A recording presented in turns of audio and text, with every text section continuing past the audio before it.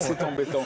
Parce que Florence, bien, et elle a même enfourché sa bécane aujourd'hui pour venir euh, travailler. C'est magnifique, ça. Ah, je suis venue en voiture, je me suis fait piquer mon vélo. Ah, ça, c'est bête, ça. Voler vélo, ça, c'est bête. Ouais, mais c'est pas exceptionnel. Quand on voit les chiffres des vols de vélos en Belgique, on dit qu'il y a 30 000. Les chiffres officiels, c'est 30 000 vélos sont volés chaque année Ouais. chez nous. Maintenant, les associations de cyclistes comme le GRAC euh, me disent c'est pas 30 000, c'est 100 000. C'est juste que comme on sait qu'il y a une chance infime de retrouver euh, son vélo volé, ben, les gens vont même pas le déclarer. Donc c'est pas du tout exceptionnel. C'est pas exceptionnel de ne pas retrouver les vélos parce qu'on peut pas dire que les autorités dépensent une énergie dingue non plus pour enrayer le phénomène. Et alors, c'est aux cyclistes d'être doublement, voire triplement prudents. Et ça, ça commence avec un bon cadenas. Pas un cadenas à 2,99 euros. Ça, c'est comme fermer votre voiture avec un morceau de papier collant. Ça sert pas à grand chose. J'aime bien la, la- comparaison, c'est drôle. On va prendre une petite leçon de cycliste papillon avec Olivier Corwen. Estelle aime le vélo. Aujourd'hui, elle l'utilise principalement comme moyen de transport. Estelle aime le vélo, c'est son troisième en cinq ans. Le premier vélo, euh, bien, on me l'a volé euh, alors que je prenais le train, donc je déposais mon vélo à la gare. Un jour en rentrant, il avait disparu. Au début, j'ai utilisé un cadenas assez fin, un serpent comme on dit, un, un câble anti-rouchon. C'était moi qui étais un petit peu euh, naïve. Naïve, en effet, regardez, pas de souci pour un voleur, une pince coupante et en moins de 10 secondes, il vient à bout de son cadenas. Et voilà, plus de vélo. Mauvaise nouvelle, mais Estelle est du genre persévérante. J'ai racheté un vélo et euh, j'ai changé de cadenas. J'ai racheté un cadenas plus épais, plus résistant, toujours en câble, mais qui me paraissait plus costaud. Il est en effet plus épais et il en impose, mais pas très longtemps. Il nous a fallu 5 minutes avec une bonne scie à métaux pour libérer le vélo.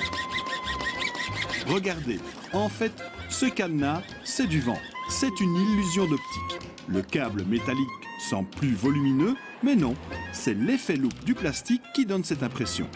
Bon, Estelle, malgré toutes ces déconvenues, ne laisse pas tomber les bras. Ça ne m'empêchera pas de faire du vélo, mais j'ai simplement acheté ce qui me semble le meilleur cadenas en me renseignant cette fois-ci. Et elle s'est informée à la Maison des cyclistes à Liège. Ici, on effectue des petites réparations, on donne des conseils, on vend des accessoires. On est pro vélo. Alors, le meilleur cadenas, c'est lequel? On renseigne, on conseille ce cadenas-ci qui est un cadenas en U. Donc c'est un cadenas fait vraiment avec des matériaux très solides, c'est de l'acier trempé, donc on ne sait pas sectionner avec une simple pince, où il faut vraiment une disqueuse, un matériel lourd pour pouvoir l'ouvrir. Et le deuxième qu'on renseigne, ça va être ce type de cadenas-ci. Donc c'est un cadenas articulé, simplement qu'on peut ouvrir, qui forme une boucle et qui permet d'attacher le vélo à un point fixe. Donc très clairement, ce sont ces deux cadenas-ci qu'il faut utiliser. D'accord, mais ça coûte combien? Il y a ceux que vous connaissez déjà, entre 7,95€ et environ 20 euros. Il y a aussi plus sérieux, mais là, il faut débourser 55, voire 76 euros. Bon, une fois bien équipé, très important, il faut aussi bien utiliser. Si vous faites comme Bernard, en attachant uniquement la roue avant, voilà ce qui se passe. Plus de vélo. Alors, pour le conserver, comment faire Première chose, c'est d'avoir euh, quelque chose qui est suffisamment haut pour pouvoir le fixer. Donc ici, c'est l'élément fixatoire. Il faut que le cadenas puisse prendre à la fois la roue et le cadre. Donc les trois éléments doivent être pris dans le cadenas. On peut espérer que, en principe, c'est inviolable, mais on sait bien que même avec des cadenas pareils, il arrive que pendant la nuit, il y en a qui prennent le temps de démonter. Alors, dans les cas extrêmes, pour la nuit par exemple, comme Estelle, il faut tout prévoir. Un bon garage, une bonne grille et un bon cadenas. Comme ça, il ne devrait plus y avoir de problème. Attendez, si j'ai bien entendu, même avec un bon cadenas, c'est pas bon. Ben non, parce qu'aucun cadenas n'est inviolable, hein, même les gros trucs euh, mastoc en U. Vous prenez une barre, je ne veux pas vous inciter, hein, mais vous prenez une barre d'échafaudage, un mec un peu mastoc qui fait levier, bah, Ah, vous bah pétez oui, le cadenas. Donc. Et même les structures métalliques, vous, vous attachez votre cadenas à une structure métallique, mais il y a aussi des scies à métaux. Donc un truc de voleur, déjà un peu réfléchi, c'est préciser la structure. Et le jour où euh, le voleur passe devant et se dit, bah tiens, ce vélo-là, il, me- il me botte bien, bah, tu shottes dans la structure, bouffe, elle s'en va, tu prends le vélo. Un truc qui fonctionne bien, ce sont des autocollants que vous pouvez obtenir auprès des clubs de votre région, euh, taekwondo, karaté, boxe, thai boxing. Et en général, bah, ils hésitent à deux fois avant d'essayer de... Mais ça, en, en fait, en rue, les gens sont encore relativement prudents. Ils attachent leur vélo, bon, pas toujours avec des bons cadenas, mais ils ont l'impression que dès qu'ils mettent leur vélo euh, dans l'entrée de leur immeuble, CCF, c'est bon, Ouais. mais sauf que pas en fait. La majorité des vols euh, ont lieu dans, dans des lieux privés parce que bah, une porte d'immeuble, ça, ça peut rester entrouvert, les gens peuvent sonner, entrer. Donc la majorité des vols, c'est dans les garages et dans les entrées d'immeubles. Et vous l'avez dit, hein, c'est une estimation 100 millions de vélos euh, volés par an en Belgique, c'est beaucoup. 100 millions, ça c'est beaucoup. Moi je dirais que 100 000, 100 000, c'est vrai que c'est un peu plus rais- c'est vrai que du coup c'est un peu plus raisonnable. Mais en 1000 même temps, il y a des millions de gens vélos volés chaque année. Il y a des gens hyper motivés. Plusieurs par personne. C'est un- une plaque tournante la Bah, Belgique. Il y, a- il y a moins, de, il y a moins de, de types de voleurs que de vélos volés. On peut dire qu'il y a en gros trois types de voleurs de vélos. Alors il y a le, le voleur opportuniste, donc c'est le type qui passe, qui se dit oh là là, j'ai pas envie de marcher, ça tombe bien, il y a un vélo, je le pique. Il y a le vol euh, petit con. Genre c'est oh c'est un vélo, j'ai envie de me faire quelques dizaines d'euros, je le pique. Et puis il y a le vol organisé. Et ça par contre la police a un peu plus de mal à le reconnaître. Il y a des filières de vol de vélos. Donc vraiment des, des- des filières très bien organisées. Par exemple, les, les- les vélos volés qu'on rachète en Belgique sont souvent pas des vélos volés en Belgique, mais on a des camions de vélos volés en Allemagne qui viennent en Belgique, et puis euh, des camions de vélos belges qui vont, par et exemple, qui sont Sont revendus dans des magasins?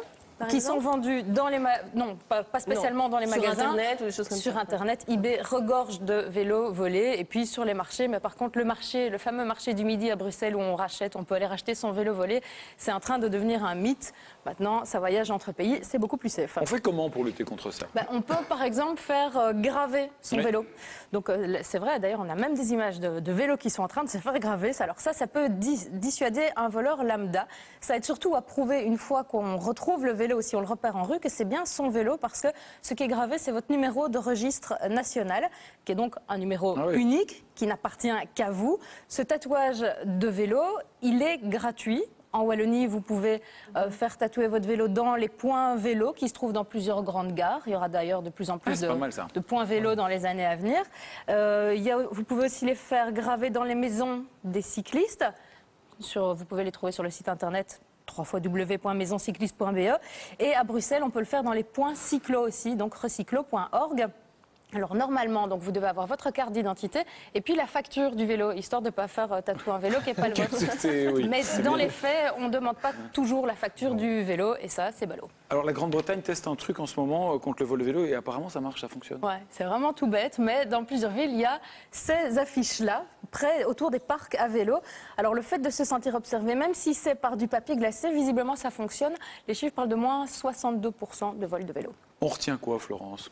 On retient qu'on peut peut-être faire gentiment remarquer aux autorités que nous dire de prendre notre vélo plutôt que notre voiture, d'accord, mais ne pas faire grand-chose pour enrayer le vol de vélo, c'est un peu lourd. C'est effectivement, euh, il y a Hubert? Non, et justement, incite à prendre le vélo, mais on ne construit pas suffisamment de parkings sécurisés Mais- pour vélo dans les gares ou dans Il y a- les Mais stations en de gros, rien pas- n'est rien n'est Rien, fait. rien Non, n'est fait. non, non, ça, En c'est Hollande, pas il vrai. existe des parkings où on peut mettre comme ça des milliers de vélos. Mais la Hollande, c'est trop Ah super oui, payé. oui. C'est pas vrai que rien n'est fait. Il y a des initiatives au niveau régional, au niveau communal, il y a des parkings à vélo, euh, des gravures gratuites, etc. Mais c'est surtout au niveau policier et judiciaire que ça se joue. Il y a quelques années, quand il y a eu une grosse augmentation des vols de voitures, eh ben, on a mis le paquet et on a relevé le niveau de priorité. Pour les vélos, c'est pas le cas. Alors, on a un peu envie de dire euh, les filles, les filles étant les ministres de l'Intérieur et de la Justice, c'est que vous avez beaucoup de boulot, mais à un moment, il faut être un peu logique. Si on nous dit de prendre notre vélo, il faut aussi nous donner les moyens de circuler à vélo. Et c'est pas seulement les pistes cyclables, c'est aussi punir les gens qui les volent, punir les gens qui les revendent. Pour le moment, voler en vélo, tu risques rien du tout. Racheter un vélo volé, tu risques rien non plus. Donc, il faut peut-être un peu mettre le paquet dans ces domaines-là. C'était le coup de gueule du soir.